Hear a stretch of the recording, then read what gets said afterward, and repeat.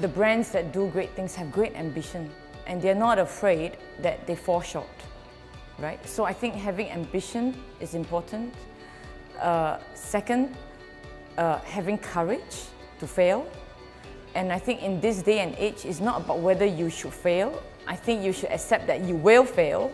You just need to fail really fast and learn really fast. The internal company dynamics are interesting. I mean, first and foremost, you need a degree of alignment. Nearly 70% of people who work inside companies do not advocate the brands that they work for and that in itself is quite a scary statistic. So I think onboarding internal teams is like absolutely critical and in the old world was something that was often ignored by marketers.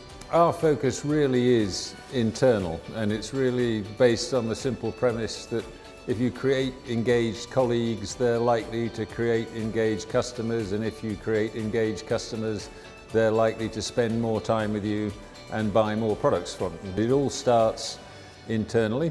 That's why we measure how we're doing on colleague engagement and, and actually what we're really looking for um, it's, in, it's within one of our values. Is are we getting the best out of people? Can they show up as their whole selves and do the absolute best they can? When I was hired, when I went to meet the CEO, um, he wanted to meet me before he was going off to New Zealand for his annual break um, to say congratulations and welcome. Um, I remember saying to him, look, I, you know, you should understand that uh, this dog comes with fleas, I think is what I said.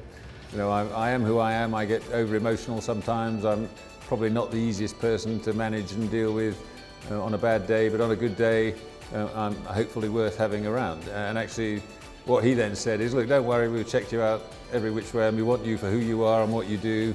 And actually that was a moment that was incredibly important to me because that enabled me to turn up to do what I like doing. And actually I think I've then been able to transmit that to other people because it's wonderful to watch what people can deliver if you give them the space to deliver it.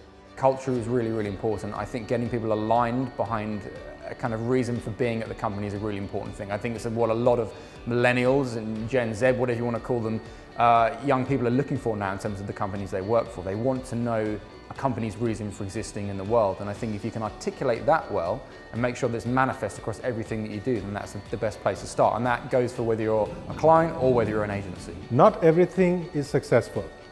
So my boss has given each one of us this big eraser, pink colored one, which we keep on our desk and it says, for big mistakes, right? So there is this whole trust that we would be you know, working on the cutting edge and not everything will be successful, always, not all projects. So we are allowed to make mistakes, so that's trust. So with this combination, we are able to then take bold decisions which would actually help drive the whole customer relevance and customer centricity story right?